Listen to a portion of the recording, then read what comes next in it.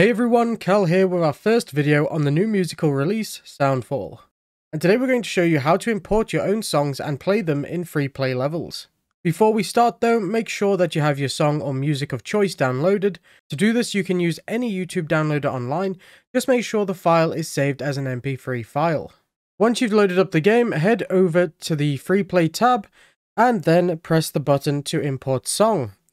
Once you've done that, just find the song you want. For example, here we'll be using the Boba Fett theme by Samuel Kim on YouTube because it's the epic version, who doesn't like that? So once you select your song, just press open, and the song will have then loaded. You should be able to hear it in the background, then all you have to do is click confirm and play the level. It might take a while to analyze the beat of the song, depending on how long the song is, but once that's done, you'll be thrown into the level and can enjoy the new gameplay with the song of your choice.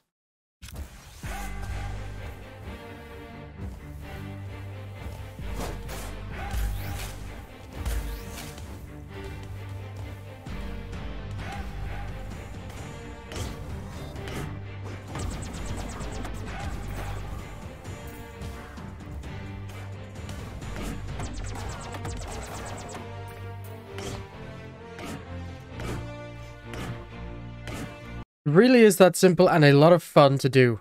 So hopefully you now have an understanding on how to import your own music into Soundfall.